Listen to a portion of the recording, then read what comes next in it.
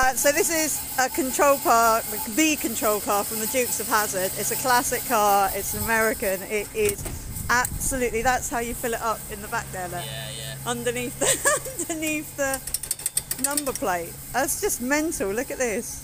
This is so cool. What a classic. He's got a sheriff's hat in there and everything. what a beast. That's so so cool. Actually, the actual car from the Dukes of Hazzard film. It's wicked. Beautiful.